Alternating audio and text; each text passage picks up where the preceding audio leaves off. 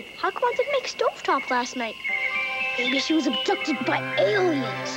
Who can explain why moms sometimes forget to make stovetop? So tonight, make stovetop instead.